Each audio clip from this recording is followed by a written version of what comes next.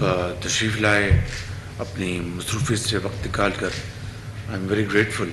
मैं पिछले हफ़्ते आ रहा था, लेकिन एक बड़ी बड़ी आम अचानक एलेवंथ आर पे बड़ी मसरूफियत हो गई। मैं हाज़िर ना हो सका।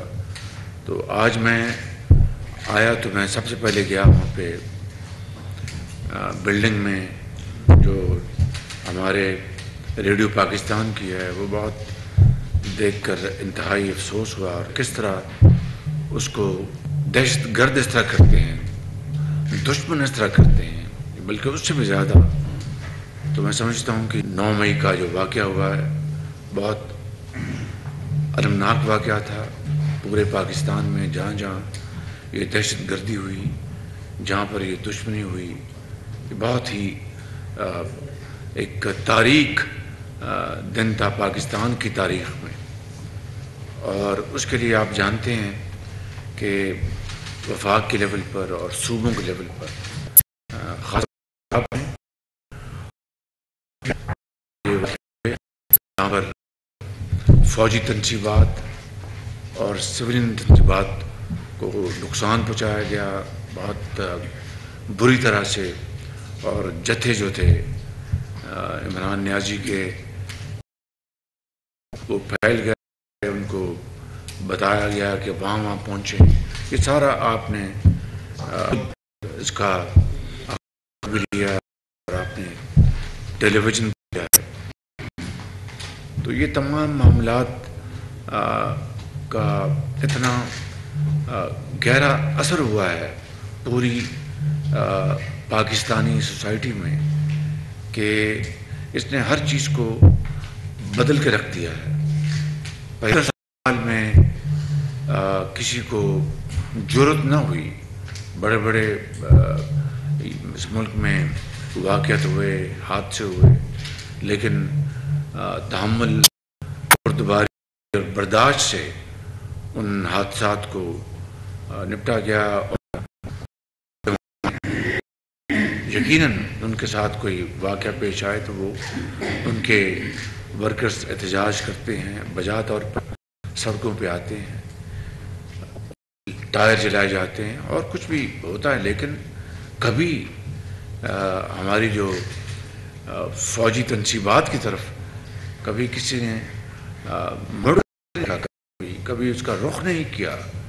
ये पहला मौका है पाकिस्तान की तारीख में जहाँ पे ये इंतहाई अलमनाक वाक़ पेश आया और आ, मैं समझता हूँ कि तारीख़ के कटहरे में बतौर हुकूमत, हम खड़े हैं कि हमें अब कानून और आइन के मुताबिक जिन्होंने ये तोड़ फोड़ की, हदायत दी, जिन्होंने प्लानिंग की, जिन्होंने फ़ौजी तनसीबात पर हमले के लिए उकसाया, जिन्होंने गालम गलोच किया, और जिन्होंने सिविलियन तनसीबात पर हमले किए वो किसी रायत के मुस्तक नहीं हैं।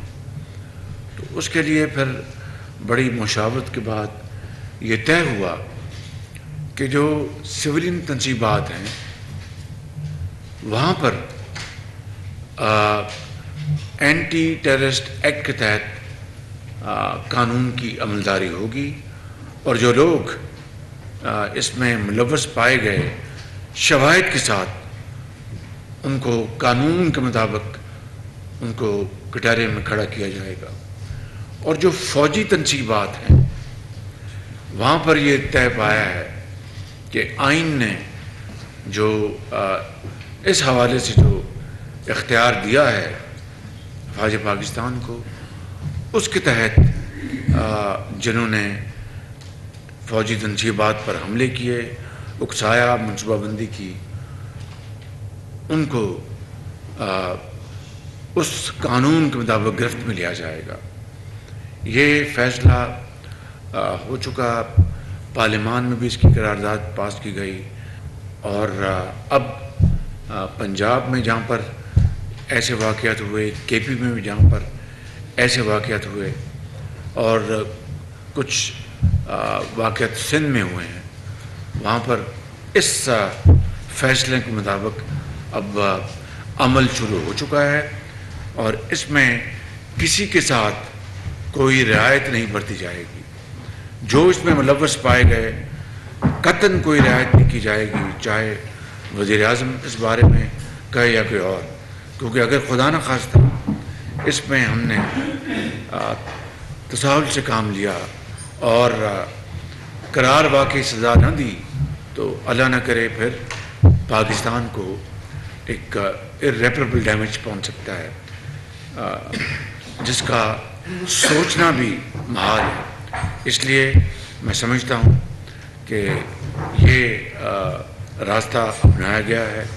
इस बारे में इमरान न्याजी और उसका जो जथा है, उन्होंने मुल्क से बाहर भी अब ऐसे ममालिक जिनके बारे में वो कहते थे कि उन्होंने साजिश की उनकी हुकूमत हटाने के लिए अब उनसे अपीलें कर रहे हैं, उनसे मदद मांग रहे हैं। तो मैं कहता हूँ कि ये दोगलापन, ये मकरू चेहरा पूरी कौम ने देख लिया।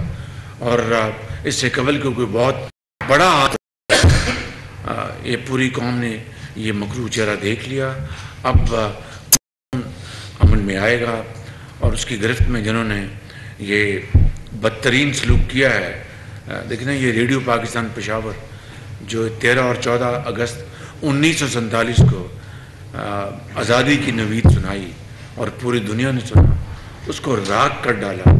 उनके जो आ, जो तारीख़ी जो वर्षा है उसको तबाह कर दिया। तो मैं समझता हूँ कि इससे ज़्यादा बेदर्दी के साथ और और